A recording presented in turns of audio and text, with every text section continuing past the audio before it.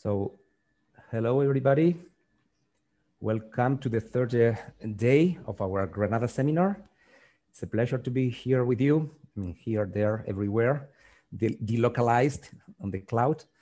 And um, today we have a very uh, interesting program.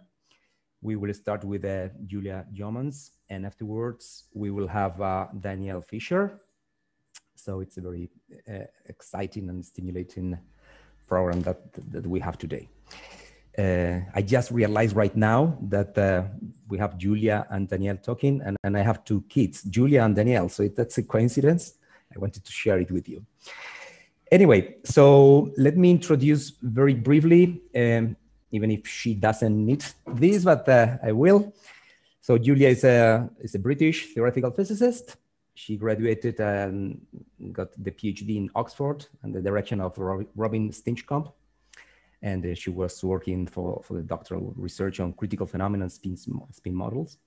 Actually, she's uh, best known to many of us for her book on statistical mechanics on phase transitions that many of us, including myself, has used as a primer in, in, our, in our courses at the university for undergraduates or graduates. And uh, she has de developed most of her career in Oxford. And uh, she's uh, very well known and recognized for her development of novel numeric numerical and analytical modeling tools to investigate a wide range wide range of complex fluids. And for example, she created new techniques covering wide range of length and time scales from microscopic to collective hydrodynamics. For example, she helped developing the lattice Boltzmann simulations for liquid gas and binary fluids. She has very highly cited publications on these issues.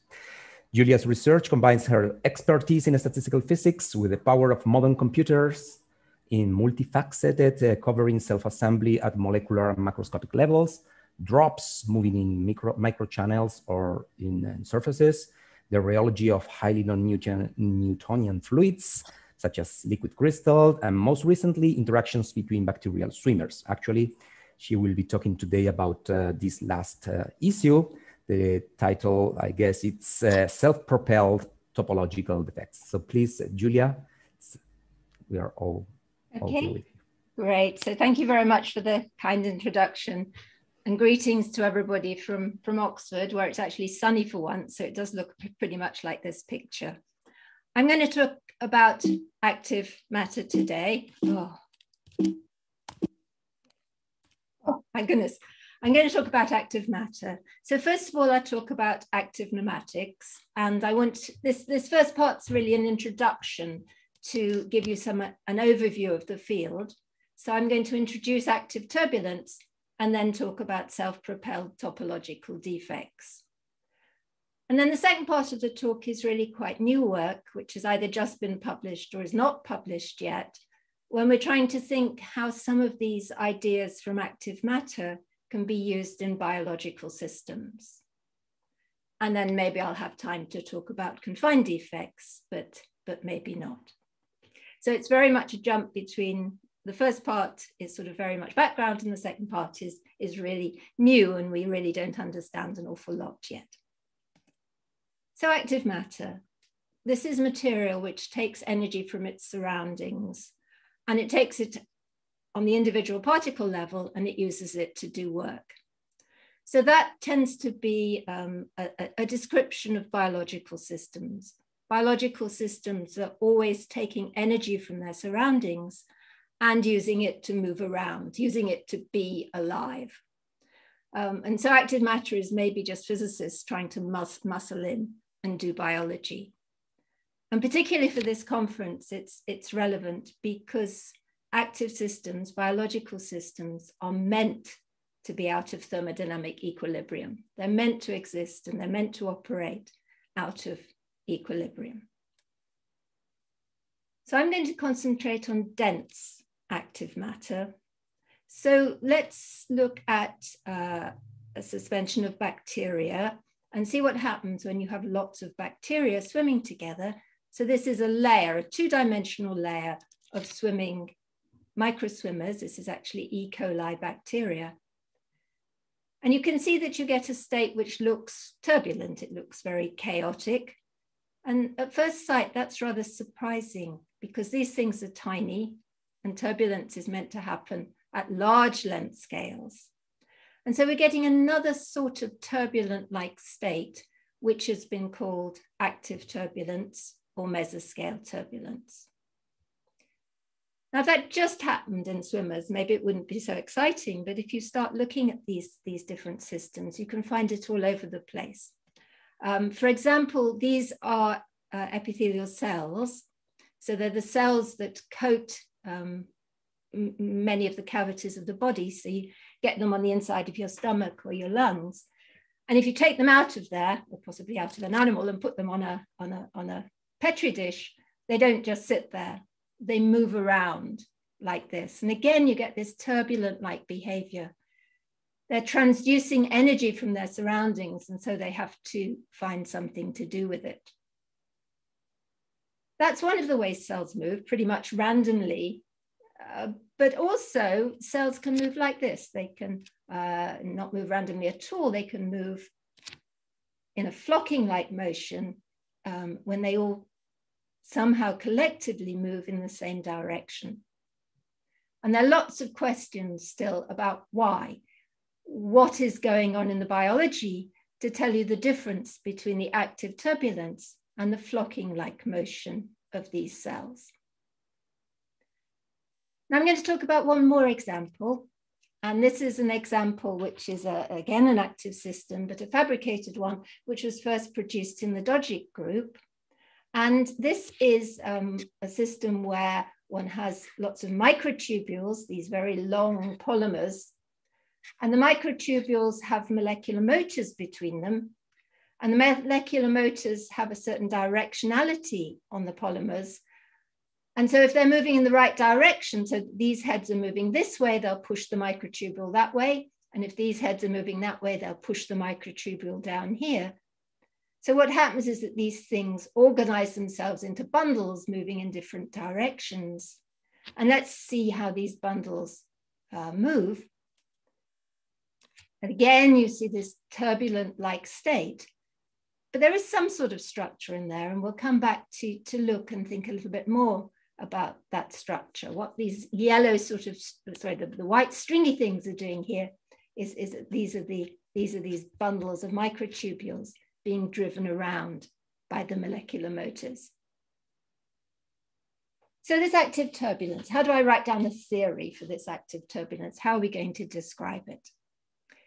Well, it turns out that the place to start is with liquid crystals.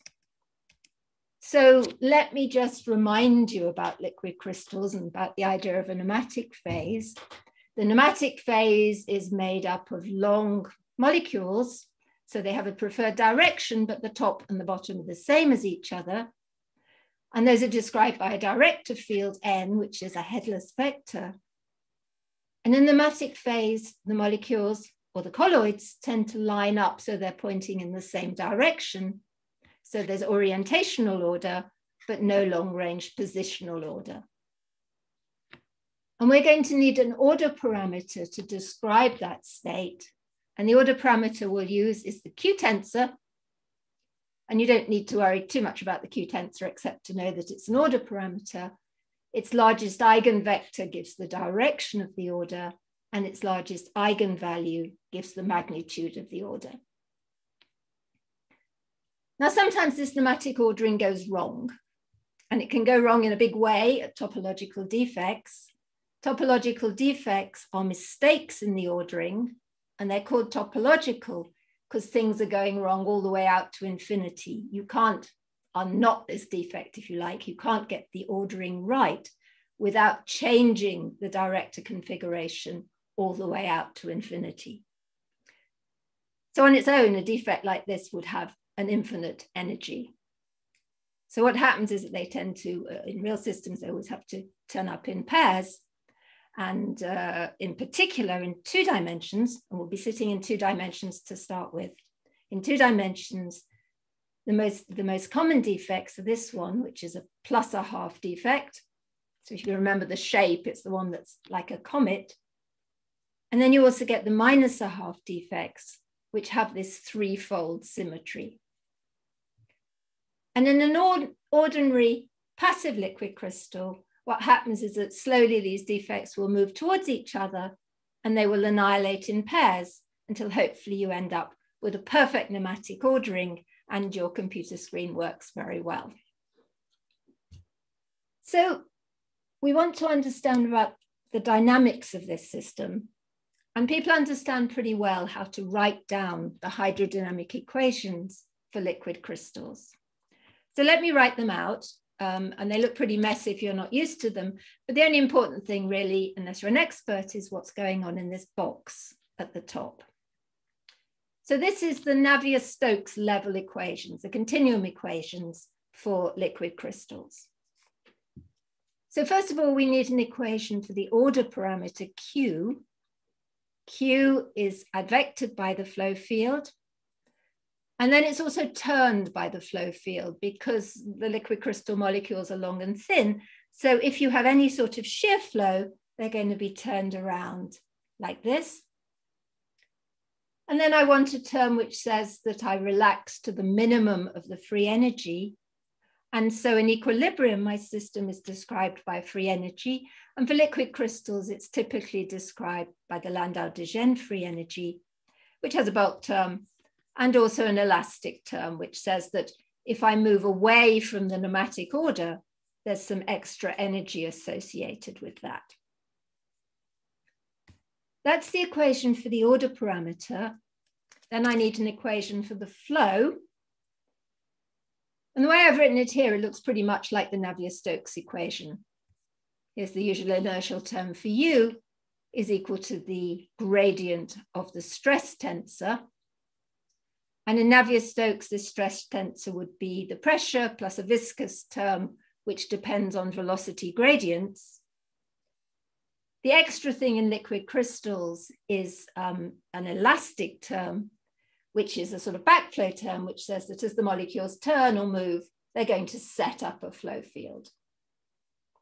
So it's pretty messy, but, but this is well understood. People really understand what's going on in terms of the continuum equations of these passive liquid crystals. So then we want to ask, okay, but what we've got here is an active system. So let's take the equations and ask, how do we change these if we've got an active system? Well, for an active system, what have I got? Let's think in terms of the, of the swimmers, the bacterial swimmers. So these things are swimming around, and because they're swimming, they're going to produce extra flows and extra stresses in the fluid. So the flow field around one of these swimmers, the far flow field, looks like this. You can see that the swimmer pushes fluid out from its ends and pulls it in from its sides. It's a dipolar flow field. It has nematic symmetry. It has symmetry around this axis, but this end and this end are the same. And so uh, uh, uh the, this thing has nematic symmetry. The reason that swimmer has a flow field like that is because it's self-propelled. It's self-propelled, and so by Newton's second law, there can't be a net force on it. So the forces have to be equal and opposite forces. And if you do a multipole expansion, if you add up the flow fields from these forces, what you end up with is this dipolar flow field. So each of the little swimmers produces a dipolar flow field, and that has nematic symmetry and that's really the reason that you have to start with the nematic equations of motion to, to, to, to describe the hydrodynamics of these active systems. While I'm here, let me just introduce some words which I'll be using later on. The flow field here is an extensile one. By extensile, I mean that it's, the, the, flow is pushed out from the ends of the swimmer and pulled in from the sides.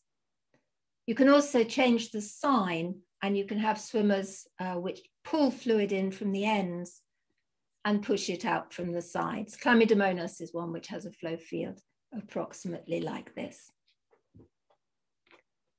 Okay, so these flow fields are going to cause stresses, and then you have to do a bit of maths, which was first done by Sriram Ramaswamy, and what you end up with is um, how to put the effect of these swimmers in the equations of motion.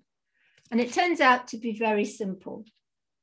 What you need is an active term which comes in the stress tensor. The active term turns out to be proportional to the Q tensor. Sort of makes sense given the symmetry of the flow field. And then this is the strength of the activity. And this comes in the stress. It comes in that thing there under a derivative. And that's really important because it says that if there's any change in Q, any change in the Q tensor, any change in the order parameter, um, then there's going to be uh, a non-zero der derivative. And you so, so you're going to get stresses and therefore you're going to get flows. And you can explain an awful lot about these active systems just by that simple ob observation that, that gradients in the order parameter give you stresses and therefore give you flows. So now let's look at an active nematic and see what happens if we turn on the activity. So this is the passive nematic.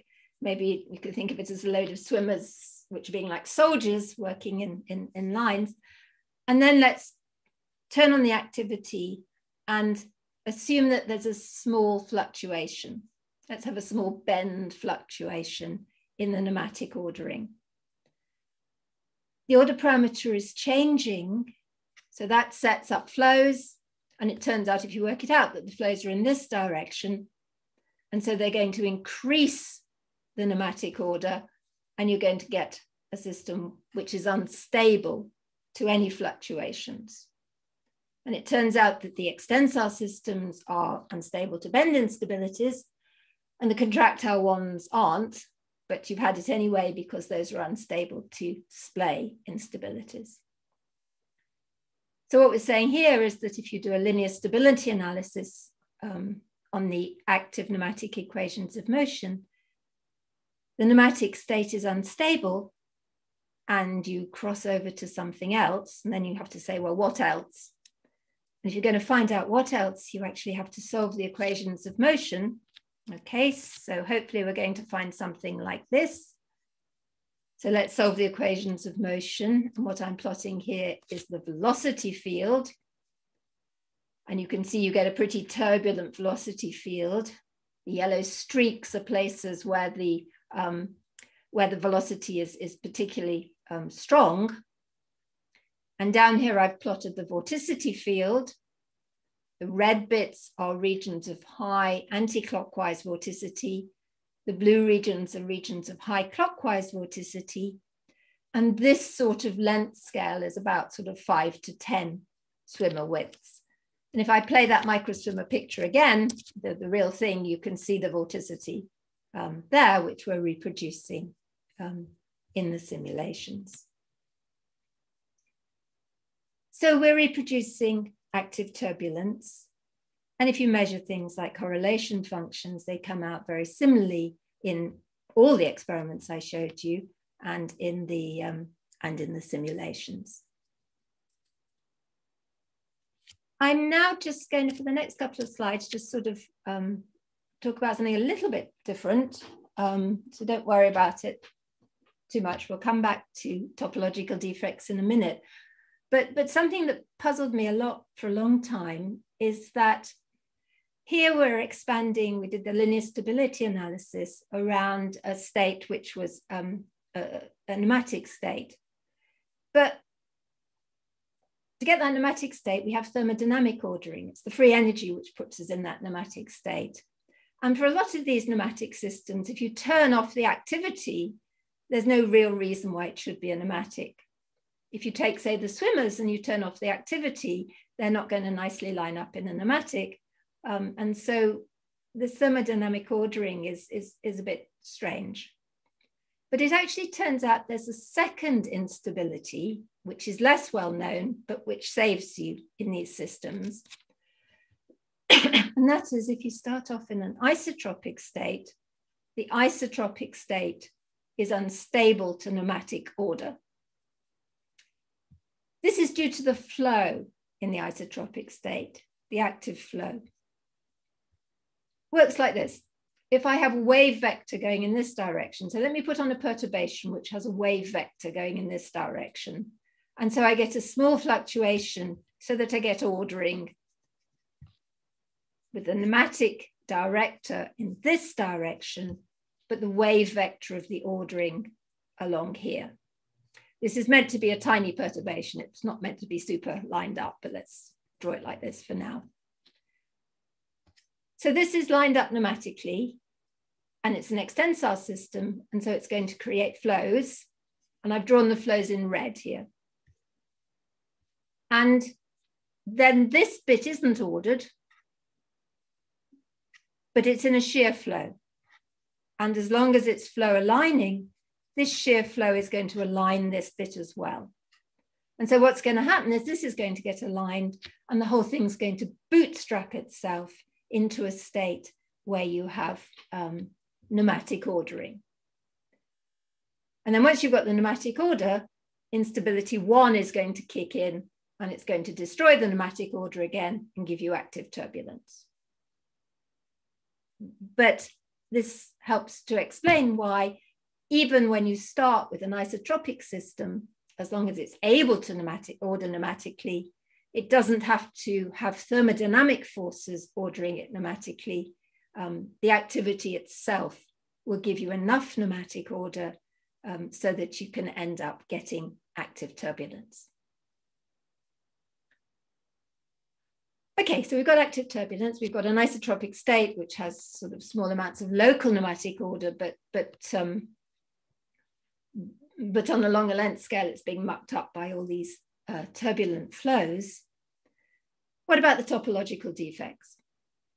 So this is a picture where the plus a half um, topological defects are red and the minus a half topological defects are blue. And what you can see is that the defects, at least to start with, do what they're meant to do and draw, destroy each other in pairs. But then if you look carefully up here, okay, I'm going to get it right there, you see that it's not just that they're destroying each other, some of them are disappearing, but new ones are popping out. You're getting plus and minus a half defects being created in pairs. And if you look at the end, I've got pretty much the same number of defects as when I started. And indeed, one ends up with a steady state, a steady state. Let me play it again. Um, a steady state where defects are continually being created in pairs, moving around, and then getting destroyed in pairs. One of the reasons this works is that the defects are self-motile. You look at this plus a half defect, it's pretty obvious that the director field is changing.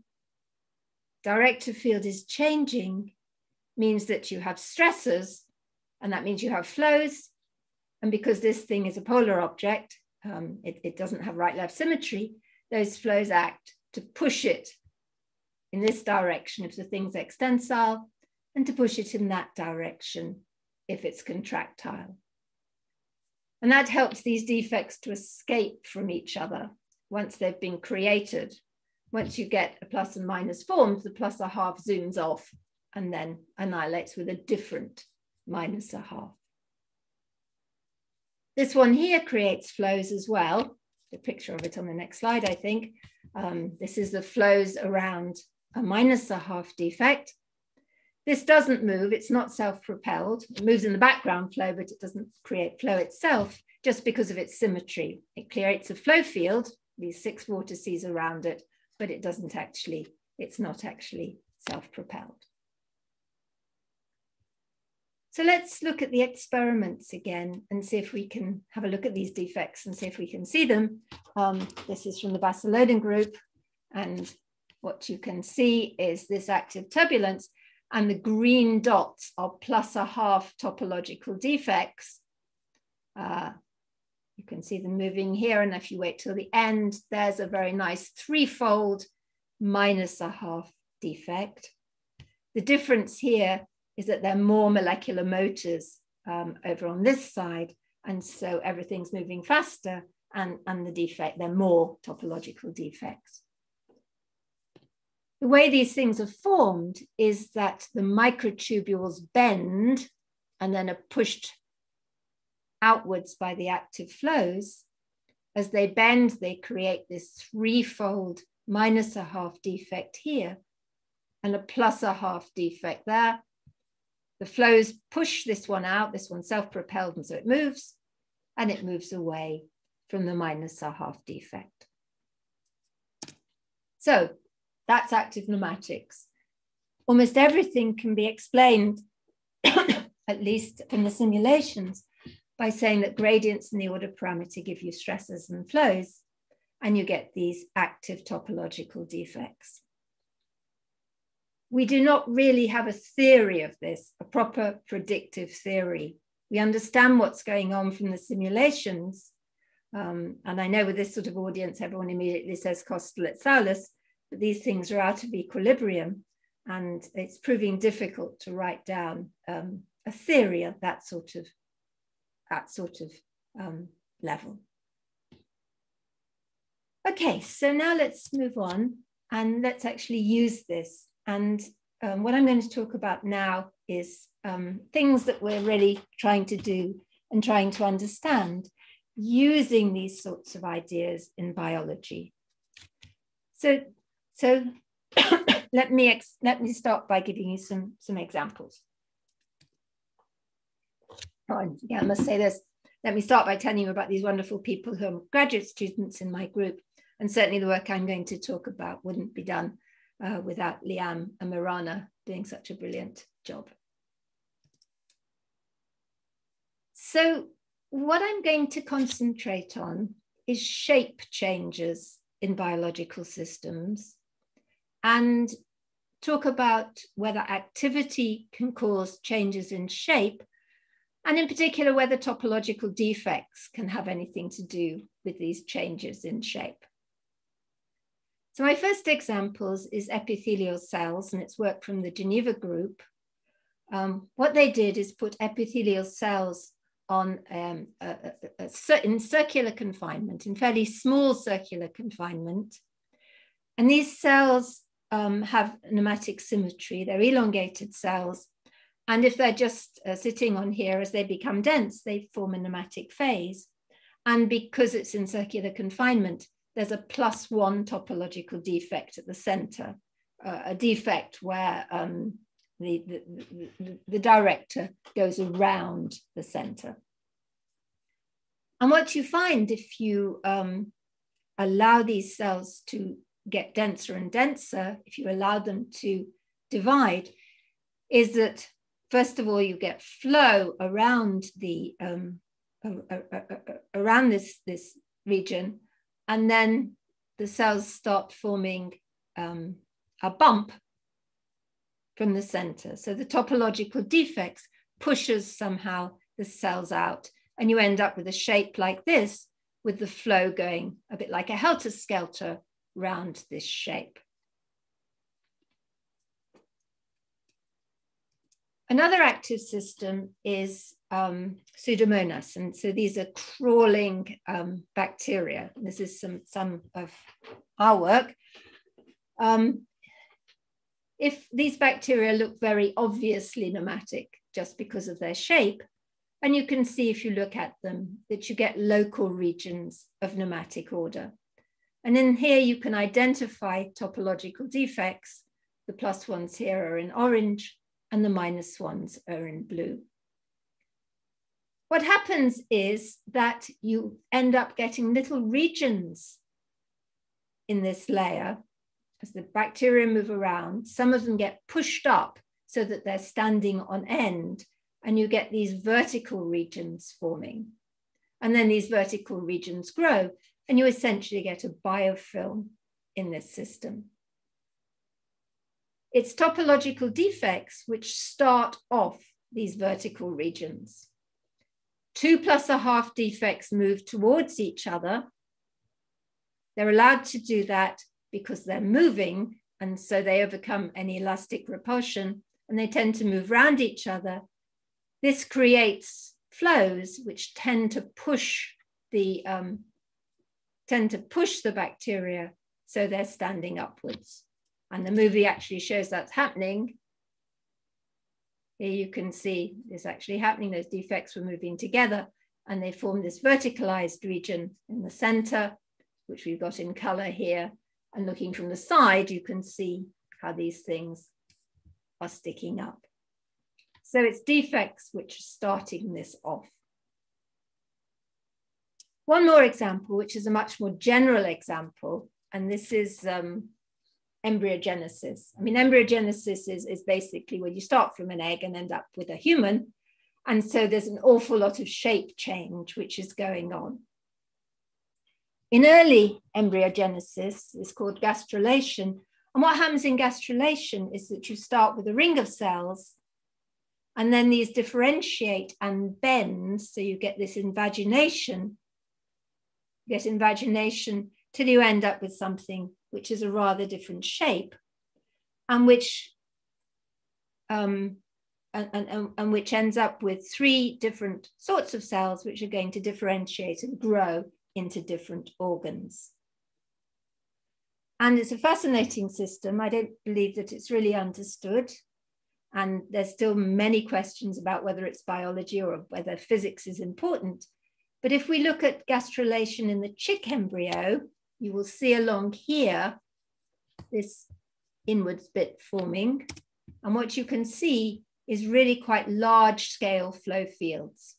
So large scale flow fields are driving the shape change in this system. So somehow the system is organizing itself to have these, these, these flow fields which, which reach over um, of order of order a good fraction of a millimeter. We don't really understand that yet.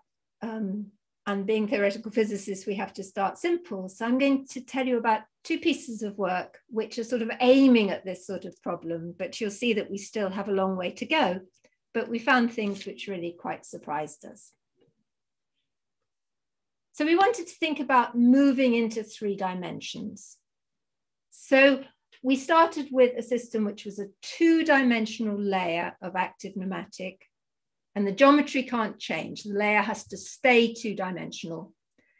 We, but we allowed the director, the nematic director, to point out of the plane along the z-axis. So the nematic director could point in the third direction. And we also allowed the flow field in the third direction. And so if it wanted to, it could push the director out of the plane. And then we measured the fraction of the nematogens pointing out of the plane as a function of activity. And what we found was that if the activity is negative, if I have a contractile system, nothing happened. Everything just stayed put in the plane. But if I had an extensile system, the nematogens really like to flip up into the Z direction. So extensile systems drive things along the Z axis. That comes out very nicely from a linear stability analysis. If you do the linear stability analysis, this omega tells me about the growth of the perturbation in a plane, and theta is the angle between the um, between q, the direct, the, the, the wave vector of the perturbation q, and the nematic director. So theta is zero is a bend perturbation. So a bend perturbation and positive um, activity gives you growth. Theta equals pi by two is a splay perturbation. So splay perturbation and negative activity, which corresponds to a contractile system, gives you positive growth. So that's what we expect for in the plane. However, going out of the plane, you have a cos squared theta here, and that's always positive. So what that says is if I have an extensile system with positive activity, you're always going to get these things wanting to push out of the plane. And if you have a contractile system, they just stay put in the plane. So then let's look and see what happens if these move out of the plane. And we were very surprised at the patterns that you get. So this is an extensor system sitting about here. We're looking down on this flat plane. The white regions have moved, so they're pointing out of the plane. and they've left behind in plane regions, which are shown in black. And you can see that you get this very, um, I mean, you get, you get, you get a pattern of, of what we call snakes because of the shape they are forming in the plane. And these snakes are dynamic, they continually grow, and then they divide. And then if they're tiny, they tend to pop up again. And so you end up with a steady state number of snakes. And I've put blue dots at the end of snakes. These are places where there are twist defects. They're twist defects which mediate the director from being in plane inside the snake to being pointing upwards out of the plane outside the snake.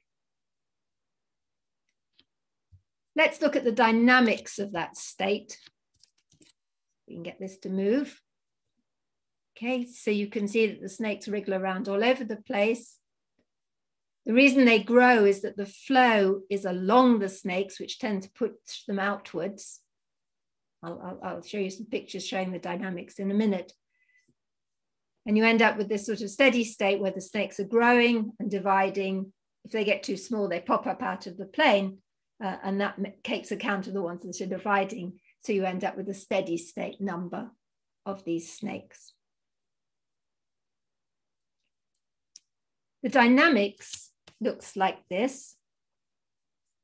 The flow field tends to elongate these things, and so they grow. The directive field aligns along the snake, and so it's almost a nematic director. If I have a nematic system in an extensile um, if I have a, a, nematic in an extensile flows, it's going to be unstable until you get a bend instability. Here it's starting to bend. If it bends a lot, it's the same as forming topological defects. Around the defect, it becomes easier for the flow to push the director out of the plane. And so what you get is an out of plane region forming here. And the thing breaks up into two individual snakes. And you end up with this really very complicated dynamics. Okay, so what does this tell me about three dimensions? Um, well, let, let, let's move. Now I'm going to jump now, and I'm going to jump to three dimensions because it'd be nice to understand this active system in three dimensions. And in particular, and again, it's Sonia Dogic's group, people are now able to do experiments on active nematics in three dimensions. It's this microtubule motor system again. But the clever thing that Zvonimir Dogic and his collaborators did was put these in a background of nematic colloids, which sort of helped the thing being nematic. And that gave it enough nematic order to form active turbulence. And again, you get active turbulence, but instead of topological defects that you get in two dimensions, in three dimensions, you get disclination lines. And this is um, experiments showing the dynamics of these disclination lines. And you can see they're twisting around all over the place. Uh, they're not allowed to end except on boundaries. And so they appear as loops and they can also um, decay as loops. I think what we've got here is, is, is a loop which, which forms. So just looking at a single loop now and the dynamics of, of, of a loop. And the loops can disappear and they can also appear. And so you get this really quite complicated um, story in, in, in 3D.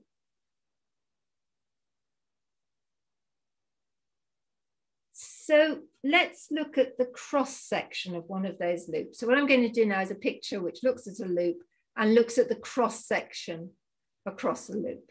So the 2D cross section across a loop. Okay, so my disclination line's going like this, and the cross section should go back into the, the, the, screen, but I can't do that because I can't see it then, so I've sort of tilted it a bit. But we're looking at a cross section of a loop. And sometimes the cross section looks just like a, a minus a half defect, in which case it's called a wedge.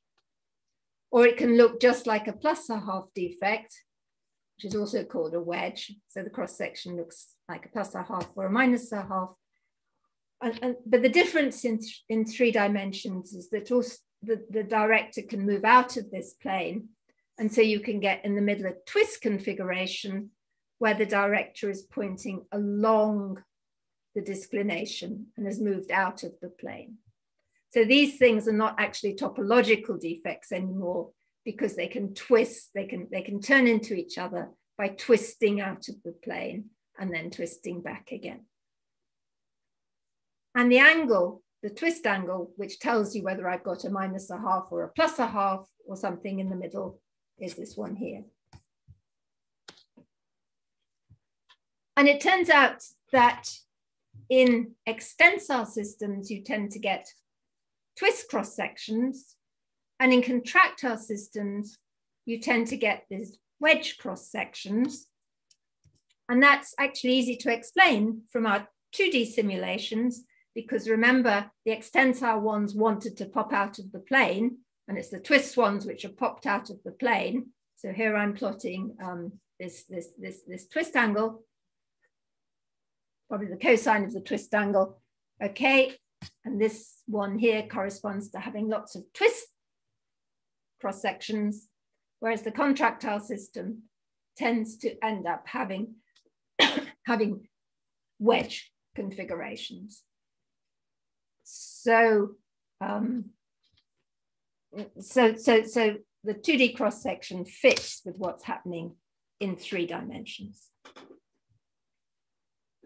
But what we actually wanted to do when we were doing this, what we were after is trying to look at a droplet of this active nematic. So now I'm talking about um, three dimensional blobs of active nematic in an isotropic background. So it's a droplet. It's a droplet of active nematic. What I'm talking about is simulations the experimental system. No one's done the experiments yet, but you could imagine that maybe biological tissues were like this. Okay. And let's just see what they look like. These blobs uh, move around. They've got surface tension, so they tend to be circular, but the activity is pushing them not to be circular. What I'm drawing here is the topological, uh, the, the disclination lines inside the drop. And the picture here just shows where the disclination lines hit the surface. Because how these things behave, it turns out to be pretty um, important where the disclination lines hit the surface. Um, let me remind you, these lines have to form loops, but they can stop on the surface.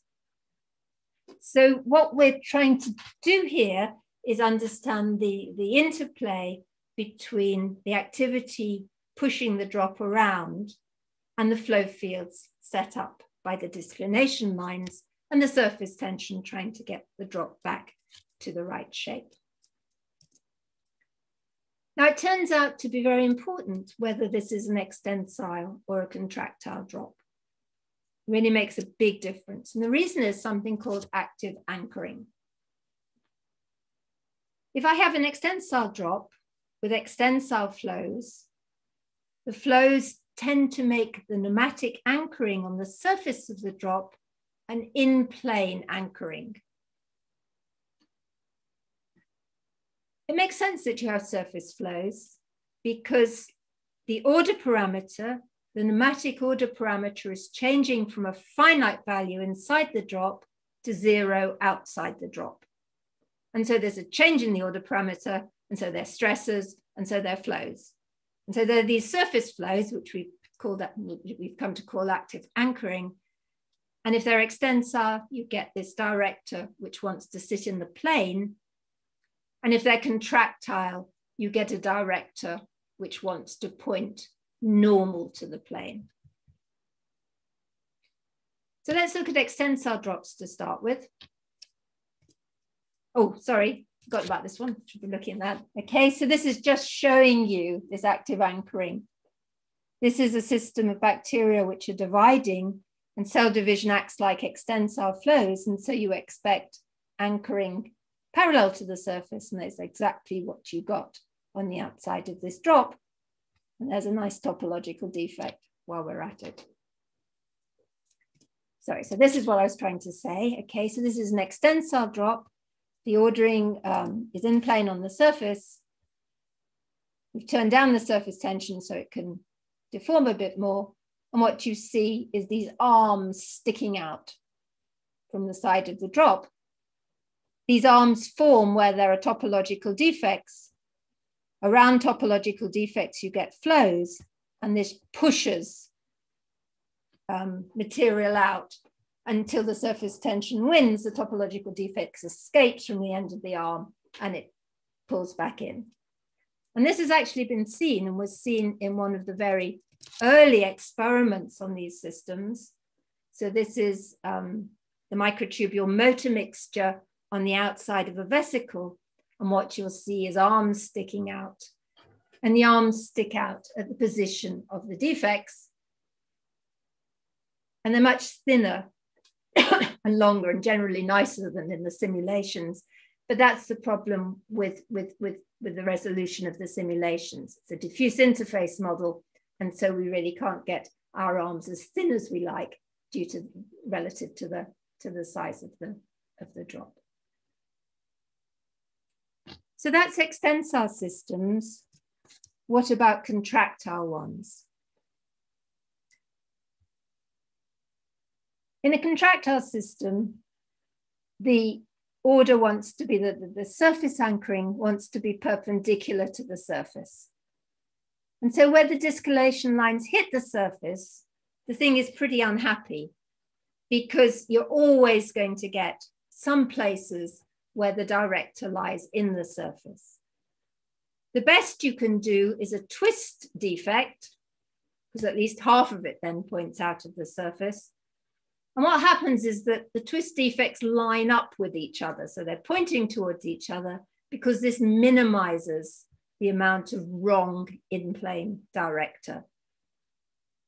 And then you get lines joining the defects where you have in plane anchoring, and the flows tend to push these outwards.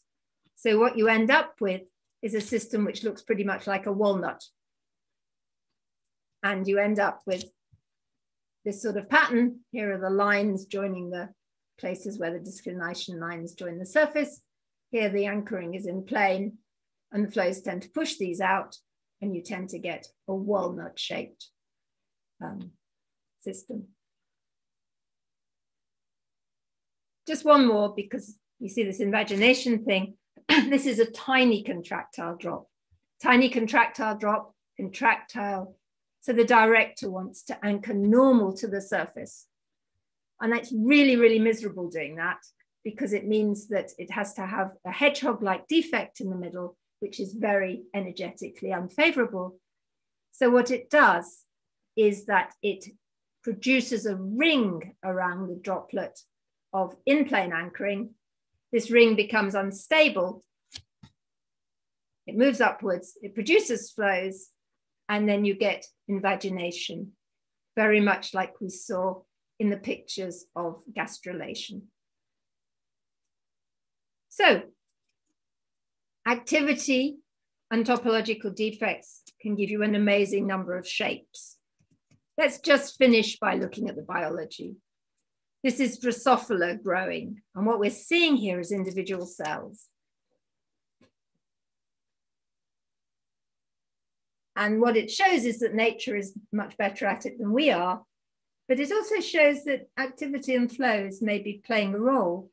And putting together this with the biology, we might learn more about these, um, these amazing morphogenic changes in animals.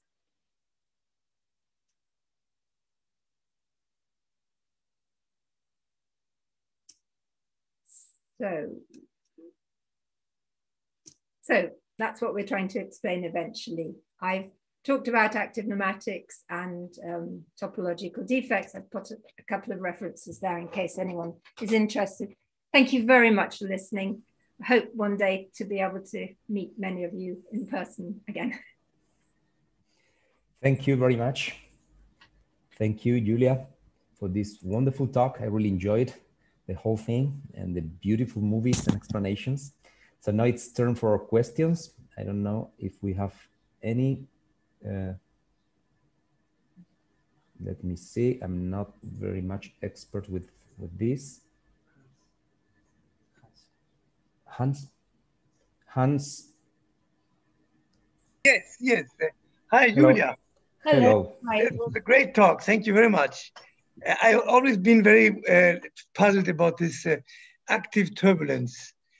Uh, my question is, how far does this analogy, analogy to turbulence really go? I mean, can you check that there is a cascade or that there is a Kolmogorov scaling or that there's a Richardson law or whatever? Is there, are there more ev- evidences that this is precisely like turbulence? No, no, it's um, I mean, it's turbulence as in a layperson would would use it.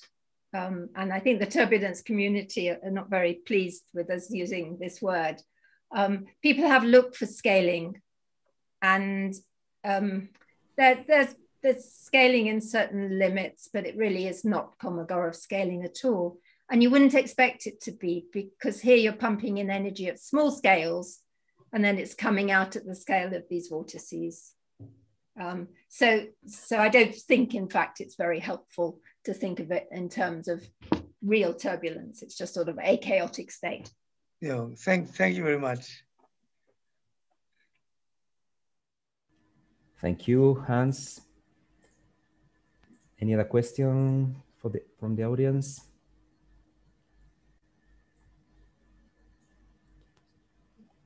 I have a, a very small question myself.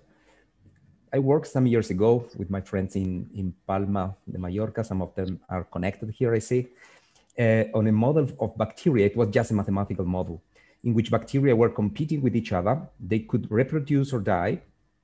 And owing to this reproduction, I mean, to this competition, they form patterns. So they kind of crystallized, but the crystal had defects, topological defects the problem and the model was very much non-equilibrium one. So you have absorbing states, you had a lot of non-equilibrium components. But still, at the end of the day, the transition to ordering, when you lowered very much the noise, was exactly identical to the one in equilibrium melting. So the same uh, Kosterlitz, Thouless, uh, Nelson, Halperin, Young theory applied very much so all the non-equilibrium components were irrelevant from the phase transition point of view. I would say that here in your case with these active nematics, the thing is much farther away from equilibrium. I don't know whether you could expect that even in some low noise limit, you could recover uh, Kosterlitz like type of transition, or, or really you think this is something else, it's really different? I mean, there has to be a, a limit where it becomes Kosterlitz because we've got 2D, 2D nematic here. So mm-hmm. if you mm-hmm. turn off the activity completely, sure. Mm-hmm. it's going to be Kosterlitz But um, I mean, my guess is that the minute you become non-equilibrium, mm-hmm. you, you, lose most of that. But we don't know.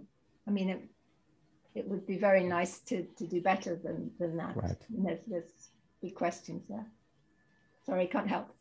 Great, it was just a curiosity. Okay, so uh, if there is no other question from the audience, I'm checking here not to leave anyone out. I don't think so. So I think we will we can uh, thank again Julia for the wonderful talk, and uh, we can meet again in how long? In three four minutes to start with Daniel Fisher and the next talk. So thanks again, Julia, and we wait uh, till five o'clock. Great, thanks. Thank Bye you. European. Bye. Bye.